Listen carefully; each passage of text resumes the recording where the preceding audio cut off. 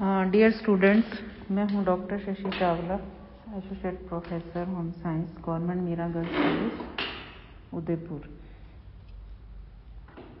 हम paper second family resource management के बारे में पढ़ रहे थे। कुछ दिनों से आप मेरा लेक्चर नहीं देख पा रहे हैं, मैं अवकाश पर थी।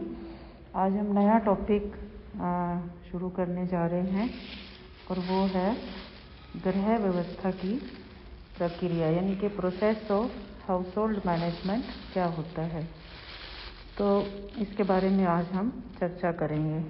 पारिवारिक, पहले मैं आपको बताती हूँ इसके बारे में थोड़ा सा इंट्रोडक्शन पारिवारिक जीवन को समृद्ध, शांतिप्रद और सुखमय एवं संतोषप्रद बनाने के लिए गृह कार्यों को समय पर निष्पादन करना ज़रूरी होता है।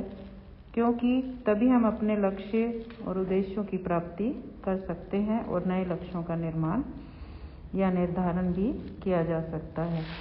बिना उद्देश्य लक्ष्य की प्राप्ति के पारिवारिक साधन पारिवारिक जीवन की जो समृद्धि है, सुख है, शांति है और सफलता की कामना नहीं की जा सकती। जैसा कि हम सभी जानते हैं कि जो गृह व्यवस्था है, वो पारिवारिक जीवन की प्रशासनात्मक पक्ष है और यह निरंतर चलने वाली गत्यात्मक एवं परिवर्तनशील प्रक्रिया है, जो समय, परिस्थितियाँ, प्रदेश, संस्कृति, जलवायु और जो भी भौगोलिक स्थितियाँ होती हैं, आदि में परिवर्तन के साथ ही परिवर्तित होती रहती है।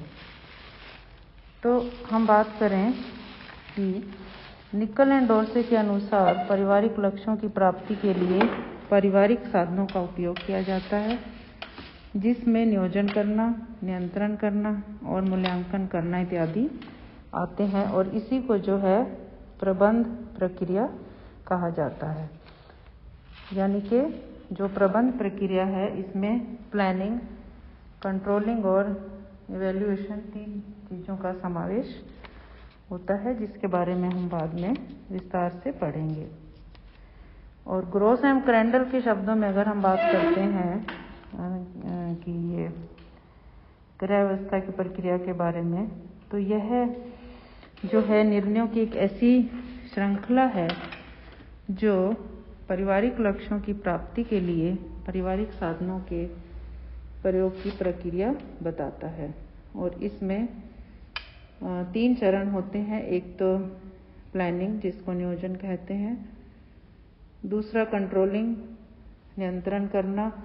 और तीसरा है मूल्यांकन, यानी कि इवेल्युएशन तो विभिन्न विद्वानों ने, यानी कि प्रबंध प्रक्रिया की जो परिभाषा है, वो अलग अलग दी है। अभी हम बात करेंगे ओपन हीम के अनुसार, जो व्यवस्थापन प्रक्रिया जो का ये वह तरीका है जिसमें निर्णयों की क्रिया में परिवर्तन किया जाता है।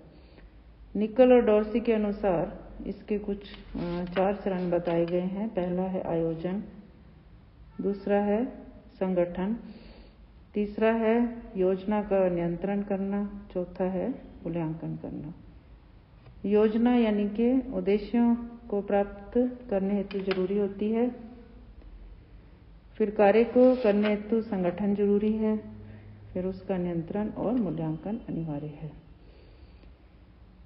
इस प्रक्रिया को क्रियाओं का चक्र कहा जाता है और इसमें प्रबंध इसके अंतर्गत निर्णय प्रक्रिया आती है, कार्यक्रम बनाना होता है, विचारों का आदान प्रदान, नियंत्रण और पुनर्मूल्यांकन इत्यादि जो हैं ये पाँच चरण आते हैं।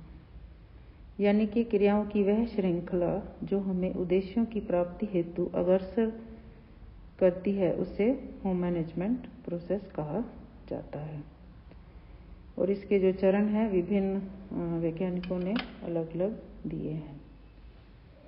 तो ये इसकी थोड़ी सी इंट्रोडक्शन के बारे में मैंने आपको बताया है कि इसमें क्या क्या होता है। मुख्य रूप से चार चरण होते हैं।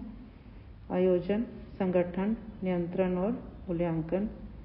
और ये सभी चरण एक दूसरे पर आधारित होते हैं और एक दूसरे से संबंधित होते हैं। एक चरण का प्रभाव निश्चित रूप से दूसरे, तीसरे और चौथे पर पड़ता है। और ये है पहला योजना बनाना, दूसरा है संगठन, तीसरा है नियंत्रण और चौथा है मूल्यांकन। नेक्स्ट क्लास में हम इन चारों के बारे में विस्तार पूर्वक चर्चा करेंगे। Thank you